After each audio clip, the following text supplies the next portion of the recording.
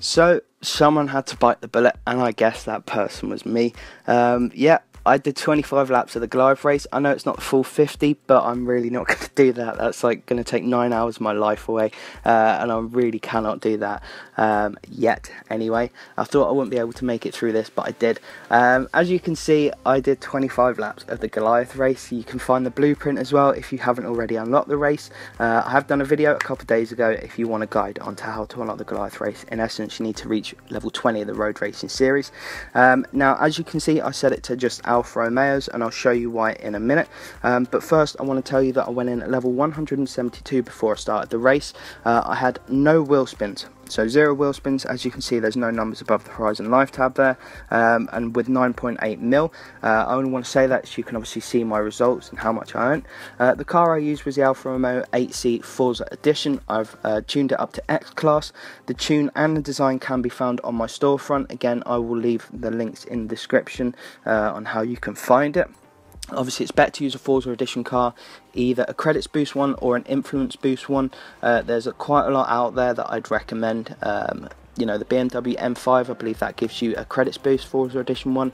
The Alfa Romeo Giulia Forza Edition, that will also give you an influence boost. Uh, but I went for the 8C uh, because it's probably one of the better ones I've got, obviously tuned to X Class. The faster the better, it means you're going to get the race over quicker. Now, as for the Goliath race, if you guys haven't done it yet, uh, it took me on average between 8 minutes and 39 seconds and 8 minutes and 50 seconds to do each lap. Uh, overall, it took me 3 hours and 45 minutes to complete 25 laps of the Goliath. Um, now, obviously, you might think it's a bit sad, and it probably is in a lot of people's eyes.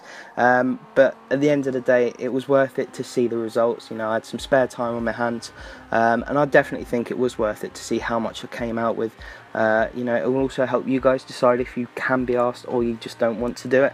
Um, there are loads of other races out there in which you can earn uh, a decent amount of credits and influence uh, that won't take you very long at all, and I will be releasing videos on them to help you guys out. Um, but like I said, you know, someone had to bite the bullet, um, and I guess it was just me in some respects. But I'm glad I did. It was worth it. You know, I leveled up about 44 times.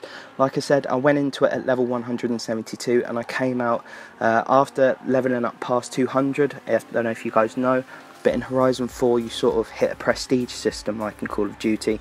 So at level 200 you prestige up to the next level, so first prestige, uh, and I made it to level 14 of the first prestige if you want. I don't know what they're calling it, uh, but they just put a little 1 and a star above it next to your number, so we're going to call it the prestige system for now. Um, so yeah, that's what happens when you hit level 200. You'll obviously see at the end of this, so I get the achievement for it as well.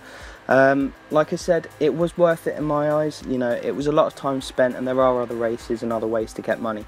Um, but I definitely do think it was worth it. I made an absolute ton of money, obviously not just from the race, uh, as you'll see in a second here.